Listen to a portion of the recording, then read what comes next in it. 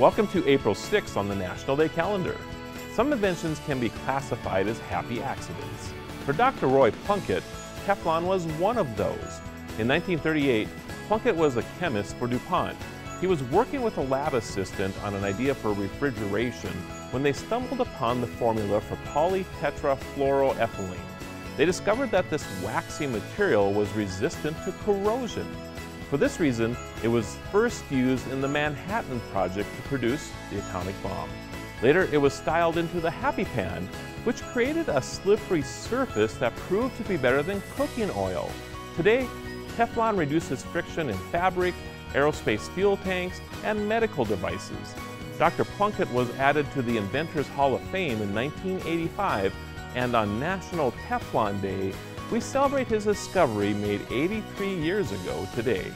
Thanks to him, you can give the brush off to anything sticky. I'm Marlo Anderson with the National Day Calendar. See you again tomorrow as we celebrate every day.